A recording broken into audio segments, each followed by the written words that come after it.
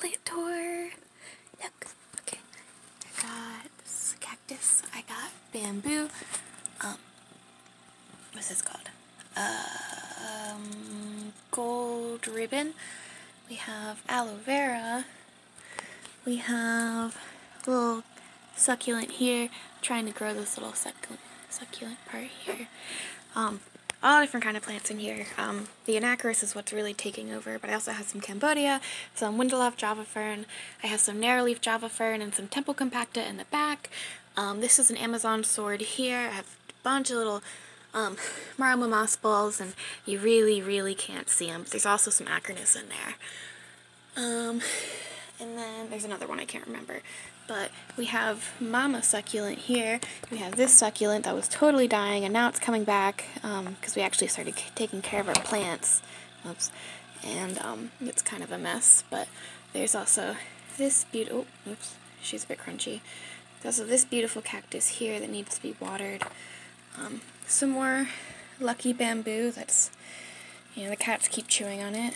Um, this is another, this is another one. that was really dying. We've had this one for a couple years, and we used to not really be into taking care of plants. So um, it had like a really beautiful flower here that we ended up trimming off, which might not have been the best idea. But um, now it's grown this weird little arm, and I don't really know what to do about it.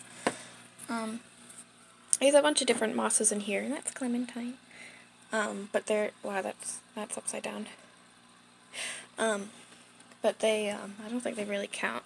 Um, we didn't really succeed in growing live plants in this before because it didn't have any sunlight. Um, but I'm thinking about planting some plants here later. Maybe I can move that, uh, that gold ribbon over. Um, I also have this lovely little bunch of succulents here that I have no idea what they are. Um, and this is, this is Henry. Henry's, Henry's a little bit crispy. Um, he was neglected for um, a good two, three weeks um, downstairs in our living room, like with almost no sunlight. So I'm just hoping that it'll come back. It desperately, he desperately needs to be um to be pruned. Um, the cats kept chewing on him, so he's like half the size he used to be. But um, oh, and then this is Timmy. Timmy's a really lovely plant. I don't know what he is though. I should really figure that out. I really only know the names of the aquatic plants, but Timmy's really pretty. Yeah.